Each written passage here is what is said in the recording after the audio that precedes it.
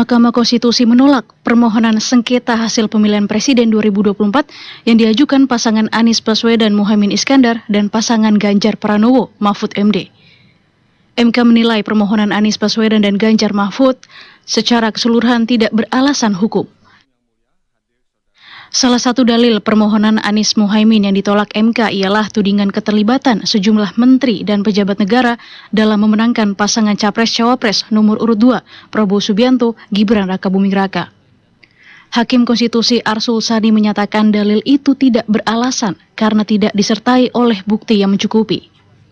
Pada sidang gugatan, pasangan Anies Muhaimin hanya mengajukan bukti berita dan video yang bersumber dari media online, tanpa diikuti oleh dukungan saksi atau ahli yang menguatkan dalil tersebut.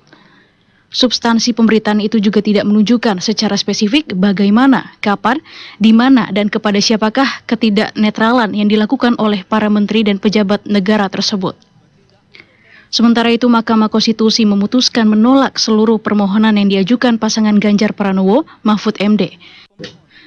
MK dalam konklusinya menyatakan permohonan Ganjar Mahfud tidak beralasan menurut hukum untuk seluruhnya. Terhadap putusan itu, tiga hakim konstitusi mengajukan pendapat berbeda atau dissenting opinion, yaitu Saldi Isra, Eni Nurbaningsih, dan Arif Hidayat.